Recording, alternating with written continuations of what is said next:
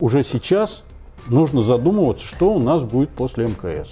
Американцы решили лететь на Луну и воткнуть флаг очередной раз американский в Луну и высадить туда первую женщину и первого цветного. Мы воткнули свой вклад на, на Вот, Антарктике, на вот. севере, и мы захватили север. К нам прилетели инопланетяне. Значит, у них уровень развития технологий и их цивилизации намного выше, чем у нас. Значит, э, та страна, которая первая с ними войдет, сможет войти в контакт, получит большой скачок в своем развитии. Королев ведь не изобретатель на самом деле. Он скорее менеджер. Да. Вот очень крутой э, менеджер. по характеру он очень похож на Маска.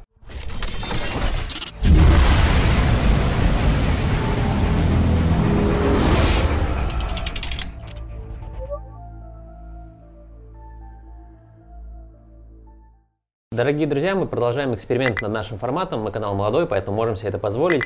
А сегодня в гостях у нас Игорь Адольфович, который связан с космосом уже более 30 лет. Игорь Маринин в детстве мечтал стать космонавтом, но стал академиком Российской академии космонавтики имени Циолковского. До 2018 года был главным редактором журнала «Новости космонавтики», автор более 500 публикаций в отечественных и зарубежных изданиях.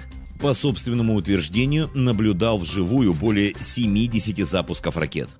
Как вы думаете, космос это пространство, где страны дерутся между собой или прежде всего поддерживают и развиваются совместно? Э, Мне кажется, что конкуренция в космосе, конечно, безусловно есть. Но в то же время э, сотрудничество между странами и между фирмами различными, которые занимаются космонавтикой, они взаимодополняют друг друга и э, дают положительный эффект. Кто главный в космосе? Мы, китайцы или американцы? Космос имеет очень много разных направлений. Каждая страна продвигает одно из этих направлений. А может быть и не одно, а может и 21 и так далее. Поэтому кто-то в каких-то направлениях лидер, кто-то в каких-то направлениях отстает. За время вот развала Советского Союза и э, последствий этого развала мы очень сильно отстали по многим направлениям. Сейчас э, заметна тенденция к восстановлению нашего, так сказать, уровня. Китай станет первым в космосе или а, по-прежнему Россия и США будут играть главные роли? Э, Китай э, идет, экономической мощи. идет очень хорошо вперед, но я бы отметил, что он идет ну, в пилотируемой космонавтике точно по нашему пути. Это Прям один в один все шаги од- повторяют. оди- один в один повторяет даже э, внешний э, вид э, Шинчжоу корабля очень напоминает Союз, только несколько увеличенный, там бытовой отсек не, не с проставкой, а цилиндрический и так далее. То есть они э, сделали первый одноместный корабль, потом двухместный, потом трехместный, прямо по нашему пути. Потом орбитальные станции одномодульные, две штуки у них было. Сейчас они делают многомодульную станцию, как был у нас мир запущен в 1987 году. То есть идут по нашему пути с отставанием от 35 до 45 лет. Но при этом идут скорее. Но- С, более, с большей скоростью, чем Нет, шли. скорость примерно такая же, но они меньше делают ошибок и на совершенно другом технологическом уровне. Потому что нельзя сказать, вот наш луноход был э, в 70-м году, ходил по Луне. Их луноход первый э, ходит сейчас. То есть в этом году его запустили. Пока Роскосмос заявляет о планах покинуть мкс к 2025 году, Китай строит собственную обитаемую орбитальную станцию Тяньгун, что означает «небесный чертог». В апреле 2021 года на орбиту вывели Тяньхэ, базовый модуль будущей станции. Он состоит из трех частей – служебного отсека с органами управления всем необходимым для жизни тайконавтов на орбите, лабораторного отсека, на котором установлены солнечные панели и манипулятор, и переднего стыковочного отсека. Всего у Тяньхэ 5 стыковочных узлов. На станции уже побывал первый экипаж. Тайконавты Не Хайшен, Люба Мин и Танхун Бо прибыли на орбиту на корабле Шанчжоу-12. Они занимались настройкой систем станции и дважды выходили в открытый космос для установки оборудования. В скором времени в космос отправят еще два модуля для Тяньгунь. Орбитальная станция рассчитана на 10 лет эксплуатации, но срок может быть продлен, а сама станция модернизирована и расширена. А вот науку недавно отправили. Это все-таки что-то современное или это советский хлам? Э, и то, и другое. Дело в том, что э, сам модуль науки сделали железо достаточно давно, в смысле в металле. Ну, конечно. Он не понадобился. Он был как дублер первому нашему э, блоку, который мы делали для Международной космической станции. Куда эту болванку было девать, стали рассуждать. И ее несколько раз переделывали для разных целей. Сначала хотели сделать просто склад. Потом хотели сделать автономный модуль. Потом, потом еще... Музей какой-нибудь. Чтобы... Нет, ну музей это... Слишком дорого. Это, э, это слишком неэкономично. Вот, поэтому вот последние 7 лет было решено сделать дополнительный научный модуль для, нашей, э, для нашего сегмента МКС. И вот э, начинили ее последним оборудованием, что было старое, не все удалось заменить. Например, двигатели остались прежними, система терморегулирования осталась прежней, вот. система стыковки осталась прежней, потому что ее уже нельзя было заменить, потому что сейчас все другое уже не производится. Но э, другое оборудование, в том числе и научное, все, естественно, новое. Поэтому и так, и так. Ну, хорошо, что так. Вот Китай сейчас строит свою станцию, а Россия только заявляет о том, что выходит из проекта МКС, потому что там значимо все устарело может быть, имеет смысл создать что-то совместное с китайцами? Уже сейчас нужно задумываться, что у нас будет после МКС. Американцы решили лететь на Луну и воткнуть флаг очередной раз американский в Луну и высадить туда первую женщину и первого цветного. Мы воткнули свой вклад на, на вот, Антарктике, на вот, севере, мы захватили север. Вот Американцы это, решили захватить Луну. Вот это пропаганда такая. Ну, захватить там тоже, там места всем хватит. Вот. Э, это, это в этом смысле. А что у нас будет?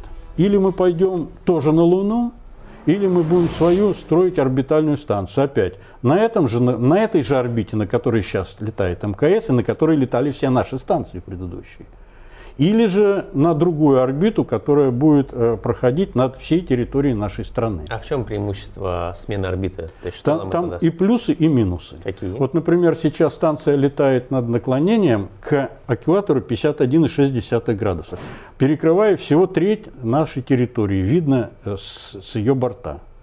Вроде бы как, зачем космонавтов наблюдать за Землей, да? Но в то же время они все приборы испытывают именно Э, по своей территории, а потом уже их там ставят на разные э, автоматические аппараты и так далее. То есть, Какое наклонение нужно, чтобы летать полностью на территории? Вот рассматривается сейчас вопрос, чтобы 97-98 градусов. То есть она практически э, перекрывала всю нашу территорию и плюс еще каждые полтора часа осматривала и южный полюс, и северный полюс. То есть все под контролем было бы. Замечательно, но здесь выход, э, минусы большие есть, что э, радиационные пояса, которые вы знаете, к полюсам да, снижаются, около экватора они далеко находятся. Здесь станция будет пересекать радиационные пояса. А и это значит... будет находиться в области радиации. Ну, не целиком, но будет пересекать чаще, и нагрузка именно по облучению на космонавтов будет больше. Поэтому э, э, рассматривается не постоянно Э, пилотируемую, как сейчас МКС, а периодически. То есть прилетели туда, сделали работы, перезагрузили аппаратуру, заменили там какие-то расходные материалы, кассеты, провели ремонт и вернулись. И дальше все в автомате работает. А что касается э, ближе к экватору, то как раз китайцы и летают, и построят, строят свою станцию на, э, на наклонении, которое очень ближе к экватору. Она не пролетает над нашей страной вообще. И у нас нет технической возможности туда летать. То есть единственный способ сотрудничества – это готовить наших космонавтов для полета на их космических кораблях. Программа на Марс полетов? Э, да нет этого ничего еще. Ни у нас, ни у американцев нет. Вообще нету, это только слова. Мы общались недавно с Иваном Вагнером, это ну, знаю российский я его космонавт. Хорошо, да. конечно. Собственно говоря, он сказал, что пока полеты на Марс это все утопия, потому что лететь 250 туда, 250 обратно и множество нерешенных задач. Но маркетинг уже пошел, то есть э, фильмы, э, Маск, э, полеты, переселения. Выглядит красиво, картинка выглядит красиво, но есть ли под этим научная подоплека, ваше мнение, что думаете? Целиком с Иваном соглашусь потому что в ближайшие 10, наверное, даже 15 лет реально о полете человека на Марс э, разговаривать не стоит. То есть это очень большие деньги и очень большие технические сложности, в том числе по жизнеобеспечению э, пилотов. Вот Маск все говорит, вот я сделаю ракету, ракету там 100 человек посажу безвозвратно туда, это полный бред. Этого невозможно, это убить людей просто. Ну вот давайте вот прикинем просто вот. Смотрите, э, для каждого человека нужно э, в день 2,5 э, литра воды. Если там регенерация воды, то есть из них, там, предположим, полтора литра можно, э, можно возвратить и использовать по новой. Хотя бы литр воды нужен в день для каждого человека. Берем трех человек. Значит, 3 литра воды в день, это 3 килограмма, да? Угу. Значит, множим на э, 9 месяцев. Ну, это сколько уже 250 получается? дней.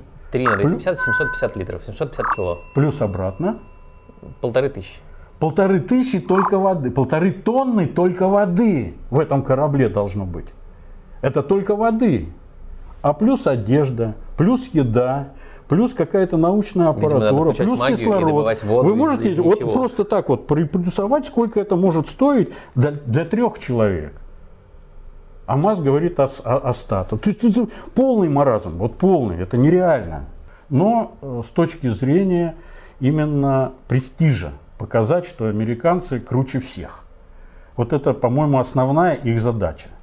Потому что никто из них не пишет, что они будут делать там, и что это будет хотя бы чуть-чуть экономически эффективно. Вот если, если эту статью почитать... под этим всем.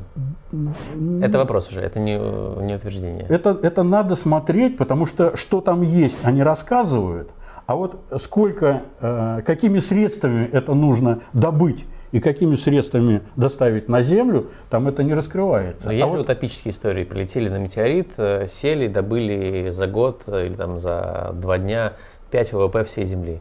Но вопрос, как туда долететь, как доставить обратно, потому что метеориты супер богаты многими вещами, теми же самыми вот. редкоземельными, которых вот. на Земле э, добывать вот, сложно. Вот совершенно правильно говорите, только метеориты ловить практически невозможно, и ничего не успеешь там добыть. А те, которые падают на Луну, они разбиваются, и все это, весь этот материал, он там так и лежит. Угу. И вот они как раз и рассказывают, что и как можно там есть, есть. Вопрос только, каким образом это все собирать на Луне и как доставлять на Землю. А то, что там появились возможности, которых мы не видели в 70-е годы, когда американцы туда летали, э, обнаружили там большие запасы воды. Откуда она там взялась, вопрос открытый пока. Ну, то, то есть, с кометами, теоретически ли... можно воду добывать на месте, не вести столько много для жизнеобеспечения и разбить какую-то лунную историю для добычи ископаемых Э, кроме того, эта вода э, электролизом разлагается на водород и кислород, кислород для дыхания, водород для двигателей ракетных и так далее. То есть это э, большой ресурс, который не надо вести из Земли. А кроме того, сейчас вот начали делать устройства, которые из, могут из лунного грунта делать корпуса, например, строить жилища и так далее. То есть какие-то типа 3D принтеров, но из лунного грунта, например. Это тоже интересно. Это тоже экономия ресурсов. И поэтому э, все обратили внимание именно на Южный полюс Луны, где как раз э, запасы воды наиболее большие. Создавая компанию для постройки космических ракет SpaceX, Илон Маск побывал в России, где приценивался к баллистическим ракетам, но купить ни одну не смог, зато понял, что ракеты продаются со значительной наценкой, а их себестоимость составляет лишь несколько процентов от финальной цены. В итоге он решил построить свою. Первым продуктом американского космического предприятия стала легкая ракета-носитель Falcon 1. И хотя первые три запуска окончились неудачно, она стала первой частной ракетой на жидком топливе, добравшейся до земной орбиты. Затем SpaceX получила контракт от НАСА на разработку тяжелой ракеты Falcon 9 и корабля Dragon для доставки людей и грузов к МКС. Впоследствии Dragon стал первым частным аппаратом, пристыковавшимся к МКС. Более того, в рамках контракта с НАСА SpaceX стала первой частной компанией, которая осуществляла снабжение станции на собственных космических кораблях. В мае 2020 года еще один проект компании, пилотируемый корабль Crew Dragon, доставил на орбитальную станцию астронавтов Дугласа Харли и Роберта Бенкин. Они стали первыми американцами, стартовавшими к МКС с территории США после почти девятилетнего перерыва. Вы говорите про будущую программу «Орел», когда она стартанет? Ну, Расскажите чуть подробнее нашим слушателям, что же это за программа? Ну, это на самом деле не программа, а проект. Проект создания нового пилотируемого космического корабля. Потому что «Союз» общая компоновка была сформирована еще Королевым в 1962 году для полета вокруг Луны. Орел предполагает эту ситуацию изменить? Конечно, Орел будет намного значительно больше, и главное, предполагается, что он будет в двух вариантах. Это, а это для орбитальных... За запуск или многоразовая программа? Ну, торопиться не надо, дорогой. Хорошо. вот. Э, предполагается в двух вариантах. Один для орбитальных полетов на орбитальную станцию, а другой для полета к Луне. Это требования немножко разные, потому что связь, одно дело с орбитой Земли, другое дело с орбиты вокруг Луны, например. Скорость входа в атмосферу. Здесь первая космическая скорость 8 км в секунду. Если с Луны мы летим, то уже 11 км в секунду. Теплозащита другая. То есть они будут различаться. Пока сейчас работы идут над первым вариантом для орбитальных полетов. И первый полет э, собираются запустить в 2023 году в декабре. Это будет беспилотный полет на орбиту Земли. Второй полет в 2024 году, тоже в конце, предполагается автоматическая стыковка с МКС, и в 2025 году должно, на, нем, на нем должны полететь космонавт на МКС. А сейчас и Брэнсон слетал, и Безос слетал, в этом году прям бум такой после пандемии, слетать всем в космос, все хотят покупать билеты, а, кто-то летит в реальный космос, кто-то летит в космос ниже 100 километров. А, что думаете про коммерциализацию космоса? Ну, Маск скрывает, хотя он тоже сейчас провел э, первый автономный э, полет с четырьмя туристами без профессиональных космонавтов. Они летали три дня по орбите. Ну, реально. Вот как раз буквально. Ре, да, ну, ну, да, да. И вернулись все. Но это вот потрясающее, конечно, достижение, потому что без профессионального космонавта это значит, что э, любая нештатная ситуация, они будут в ауте. Не, ну не каюк, но просто э, они ничего сами предпринять не могут, они не готовы к этому. Поэтому цена разная. И, но, соответственно, э, даже 200 тысяч долларов, я не думаю, что э, нагруз, э, в смысле загрузка и окупаемость будет очень высокая. Там за рубежом. У нас еще хуже положение, потому что у нас э, практически нет таких людей, ну, ну, единицы, может быть, ну, десяток, может быть, которые бы заплатили даже 200-300 тысяч долларов за прыжок, э, чтобы ощутить невесомость в течение там, пяти минут. А как насчет э, военных разработок в космосе? Есть ли ракеты в космосе, будут они там остановлены, как это все регламентируется? Значит, военный космос может быть двух типов. Один созерцательный, другой боевой. Вот э, созерцательный военный космос, он не запрещен никакими договорами и так далее. То есть это разведка из космоса, связь э, косми... э, в, э, в интересах военных, вот военные, точные, спутники друг друга точные навигационные данные и так далее. А вот что касается уничтожения э, оружием, которое размещается в космосе, это сейчас международными договорами запрещено. Вот. Сейчас, э, хотя пытаются Соединенные Штаты и Китай уже провели испытания э, повреждения спутников с Земли. Это не запрещено, и это они уже попробовали. Вот. Так что оружие против спутников уже в принципе есть. Дальше. Есть сейчас э, спутники, которые могут маневрировать и э, менять э, место расположения. А это значит, что он может быть спутником-самоубийцей. То есть он может разогнаться и столкнуться со спутником противника и его уничтожить. Считать это за оружие или не считать? Вопрос открытый. Юридически сейчас это никак не запрещено, но в принципе такие возможности у современных космических аппаратов уже есть. Конечно, ракет с ядерными, двигать, э, с ядерными боеголовками там, на орбите это, этого нет и, я думаю, никогда не будет, потому что Э, любое э, такое, ну сейчас скрыть это невозможно от э, партнеров противников. Поэтому сразу же узнают или поднимут всю общественность, или будут делать альтернативные вещи.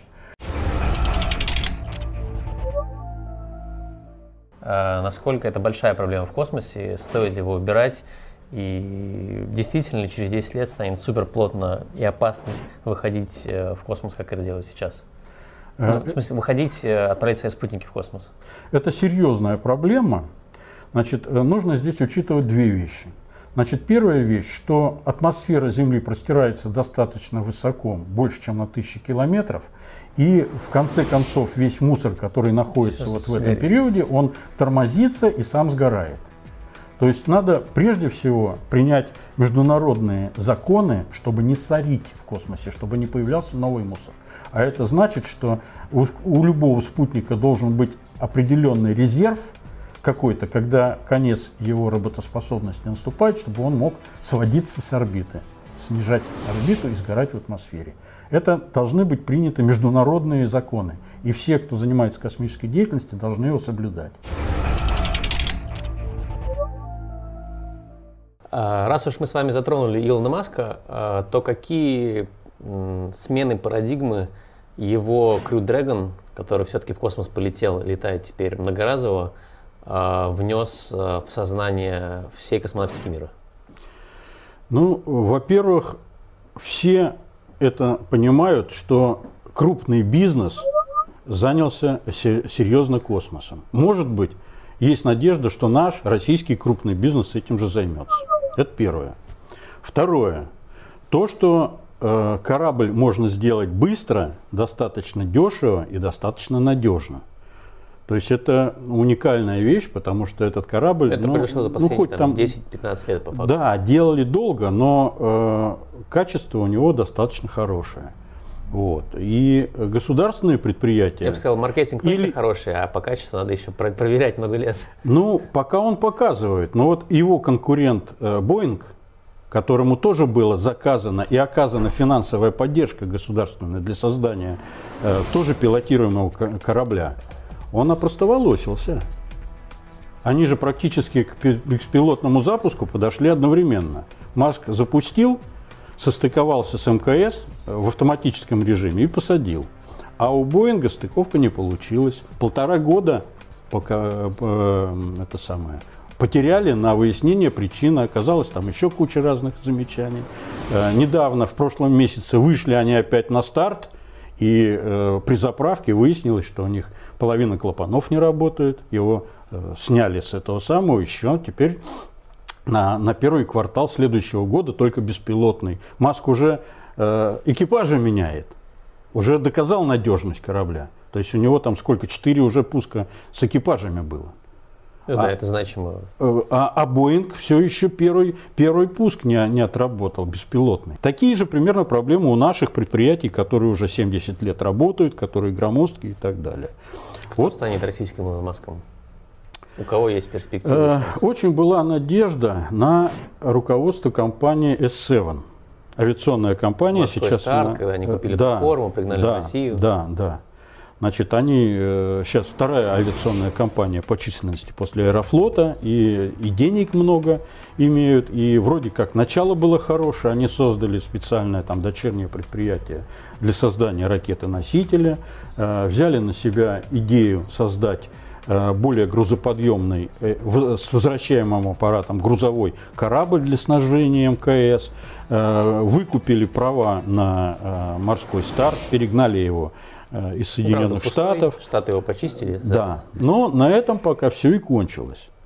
То есть у них э, энтузиазм пропал, несмотря на словесную поддержку Роскосмоса. Э, а С есть в России грантовая история? То есть э, Маск поднялся по факту за счет грантов американского да. государства? Да. То есть в России есть гранты для предприятий, для разработок? Очень, очень маленькие и э, очень сложно их получать.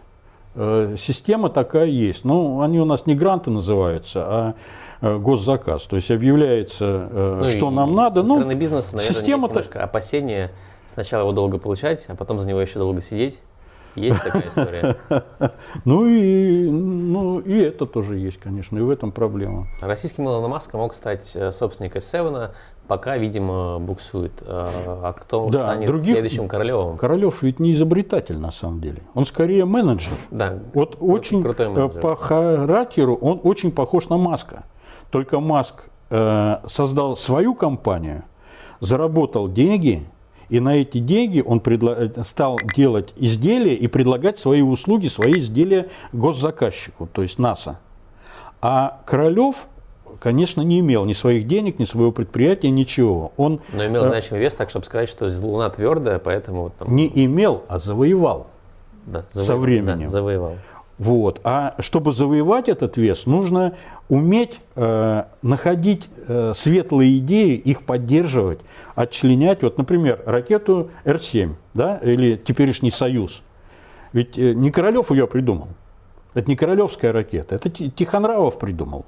Военный, которого Королев взял себе из военного института НИИ-4 и э, создал ему условия для создания этой ракеты. Уникальный совершенно, который аналогов нет. Почему мы американцев э, опередили на, там, на десятилетия? И почему она до сих пор работает? А? Потому что Королев был крутым Да. Менеджером. Так вот, таких сейчас менеджеров нет не только потому, что нет характера такого, а еще потому, что совершенно другие условия.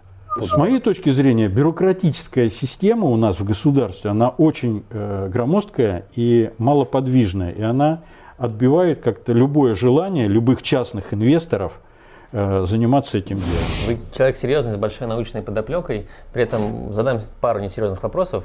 Вот завтра инопланетяне прилетят, что делать будем? Ну, предположим, что они э, прилетят к нам, а не к американцам, да? Ну, на Землю в целом. Не, Нет, не это, это совершенно разные вещи. Дело в том, что ага. э, если... Хорошо, прилетят к нам. Э, дело в том, что э, инопланетяне это значит э, уровень развития их цивилизации намного порядков выше, чем наш. Хрен знает, может быть, мы как инопланетяне высадились на Луне уже, и местные думают, муравьи, блин, что за такие непонятные Нет, ну давайте Муравьены так, что к нам прилетели инопланетяне, к нам они прилетели, ага, не мы туда, да, да, окей. не они нас нашли, э, они нас нашли, они к нам прилетели. Значит, у них уровень развития технологий и их цивилизации намного выше, чем у нас. Значит, э, та страна, которая первая с ними войдет, сможет войти в контакт, получит большой скачок – в своем развитии и uh получит и сразу станет как бы доминирующей, ну очень быстро станет доминирующей технологически во всем мире. uh Сейчас на эту роль претендуют Соединенные Штаты. И они делают все для того, чтобы, если вдруг э, какие-то инопланетяне появятся, их взять себе в оборот, скрыть это всех и получать с них какие-то знания, чтобы всю Землю взять, так сказать, под собственный контроль. Угу. Соответственно, я думаю, что и наши спецслужбы э, э, стали бы поступать точно так же. Вот выяснили, что делать, если инопланетяне к нам прилетят, а если они прилетят к китайцам, к индонезийцам, к американцам, что делать-то будем? Ну, я думаю, что это не наша с вами задача, а у нас есть спецслужбы, которые должны этим заниматься непосредственно. Э, вы так много лет в космосе, так много всего знаете. А какие технологии спустились к нам на Землю из космоса? Что знаете? Как, что было изобретено на орбите и потом трансформировалось и с течением времени пришло на Землю? На орбите не изобретается ничего. Было туда, доказано, сделано, туда, туда, туда, да, туда отправляются вещи или там проводятся эксперименты, которые призваны дать информацию для открытий и для изделий, которые делаются на Земле, или для отладки оборудования. Ну вот, например, система ГЛОНАСС. Элементарно, все сейчас ей пользуются навигаторами. Но эта система была еще создана в советское время для военных. Что еще? Например. Сколько угодно. Дистанционное зондирование Земли. Раньше это были чистые фоторазведчики сделанные, причем одновременно с кораблем Гагарина. И корабли были одинаковые, назывались «Зенит-2». Это тот же самый гагаринский корабль, только один потом сделали пилотируемый, а другой сделали автоматически. Вот «Зенит-2». Так с тех пор э, все фоторазведчики, которые делались для Министерства обороны, картографические и так далее, они сейчас выполняют роль для гражданского населения. Сейчас мы получаем информацию о пожарах, о растительности, о зараженности почвы, о зараженности лесов, э, предсказываем землетрясения. В общем, все это говорю, позволяет делать... Я уже не говорю о э, погоде. И тут можно копаться, и технологические тоже вещи. Например, там куча клеев создавалась. На самом деле назвать конкретное что-то сложно, потому что от э, идеи и от э, проверки этой идеи в космосе до попадания в общее потребление населения проходит очень большое время и очень много стадий. Э, наш канал смотрит много мечтателей-изобретателей. Каким будет космос в 2051 году, через 30 лет, когда поколение, которое нас смотрит, подрастет и сможет рулить миром? Э, мне кажется, что э, жизнь на Земле без космоса, без космических аппаратов, без космических услуг будет просто представить себе невозможно. Хотя большинство людей забудет, что это идет из космоса, как сейчас происходит, например, э, с интернетом. Вот. Что касается межпланетных полетов, то на Луне будет работать международная база, на Рядом которой с Южным будут, полюсом. Ну, скорее всего, на Южном полюсе, да. Э, на котором будут работать э, ученые разных стран и будут пытаться добывать там полезные материалы, ресурс которых э, заканчивается на Земле. Кроме того... А полеты на другие планеты Солнечной системы получится, не получится к 51 году? 30 нет, лет? Нет, я думаю, что э, нам просто лететь больше некуда, кроме как на Марс. На Марс мы за 30 лет э, пилотируемый полет, я не думаю, что мы осуществим. Ученые направят свою деятельность, а государство э, увеличит финансирование э, в направлении от новых открытий физических законов. Ну, на маленьких примерах. 200 лет никто не представлял, э, назад никто не представлял, что есть электрический ток. Угу. Значит, э, там 100, 120 ну, лет Недавно назад... графен ребята в России изобрели. 120 лет углерода. никто не знал, что есть ради... радиация и Э, там 50 лет никто не представлял, что есть лазеры и так далее. То есть различные физические законы до сих пор открывают. Радио, телевидение, это радиоволны. Никто о них там 200 лет назад не представлял даже, что они есть что они в принципе есть, потому что наши органы чувств это не То есть вы топите за новые открытия, новые изобретения? Да, да, нам нужно искать э, способы перемещения в пространстве, не используя химические двигатели, которые изжили себя, которые э, стратегически не могут нам ускорить э, передвижение. И благодаря им мы не можем дальше Венеры или дальше Марса Телепортация, улететь. левитация. Да, да, что-то должно быть, потому что э, последние там, десятилетия открыли темную материю, открыли кротовые норы, э, обосновали, что... Э, это история про то, что время отрицательно, может быть, можно проходить в обратную сторону. Ну, опять, это теоретические, ну, окей, упрощ... это, это, это теоретические рассуждения, но э, этим, может быть, можно пользоваться, и вот тогда мы завоюем не только околосолнечное пространство, но и э, всю галактику, а может быть даже и в другие галактики будем летать.